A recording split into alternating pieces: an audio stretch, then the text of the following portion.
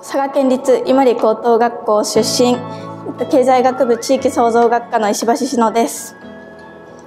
北九州市役所です。もともと佐賀県出身なのですが大学進学を機に北九州市に移住してきて講義の中で北九州について学ぶ機会がたくさんあり北九州市の魅力を知って北九州市で働きたいなと思って志望しました。地域創造学科で外に出て活動することが多かったのでその活動を自分の強みとしてアピールしました。私が一番良かったなって思ったことはやっぱり先生方がたくさん応援してくださることや